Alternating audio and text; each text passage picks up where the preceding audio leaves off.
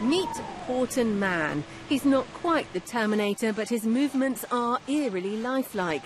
His job is to test the effectiveness of clothing designed to protect military personnel during a chemical or biological attack. We place a number of sensors across the mannequin body. These contain an absorbent. The mannequin's then dressed with a suit system to test. The absorbents will trap any agent which penetrates the suit system. At the end of the test, we can then compare that against the challenge concentration to obtain protection factors for that particular suit system. As well as those movable sensors, there are also 270 fixed sensors across Porton Man's body. That's more than twice as many as on his predecessor. The original Porton Man had been in service since the late 90s. His drawbacks were a lack of range of movement. What you see here is it. The latest model can walk, run, sit, kneel, all movements designed to simulate the stresses a soldier puts on protective clothing in the field.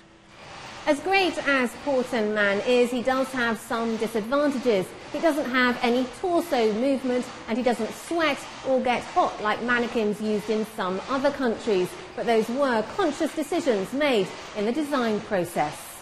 In the design and development of a mannequin, it's about a trade-off of different features. We've opted for more head movement in the system, which has meant that we cannot rotate the torso. However, head movement left to right will also stress the fabric in a similar fashion, but having more head movement as well, we believe will offer a greater advantage. So we can now move the head up and down, left, right, and rotation. Porton Man took 16 months to develop. He's been designed with a bit of high-speed help to the size of the average soldier, but there were some small hold-ups on the way. Because it's all Formula One technology, and we use local companies who work with the Formula One industry, five axis machining of patterns and body forms, and then the carbon composites that were produced, they, we missed the timing and they all got started to prepare for the new F1 season, and um, we had to fight to get our, get our mannequin made in between the F1 cars.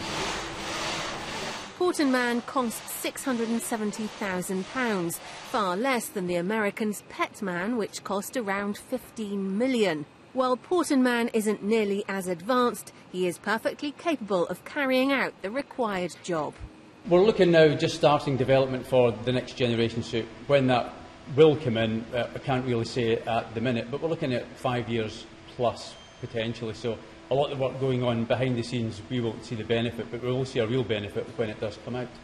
Looking at this disturbingly lifelike droid, it doesn't take much to imagine where this kind of technology, coupled with unlimited funds, could go in the future. Claire Sadler, Forces News, Wiltshire.